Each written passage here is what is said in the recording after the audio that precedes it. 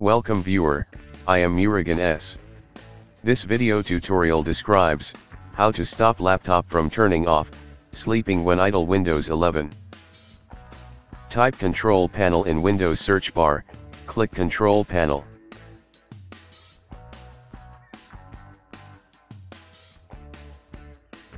Open Power Options.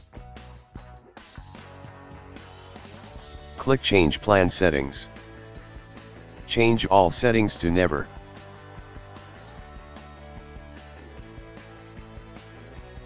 Click Change Advanced Power Settings.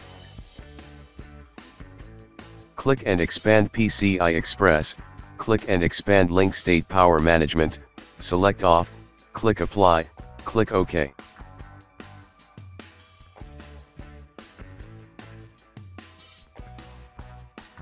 I hope this video tutorial helps to you, please like, share and don't forget to subscribe my channel, thank you very much, see you next video.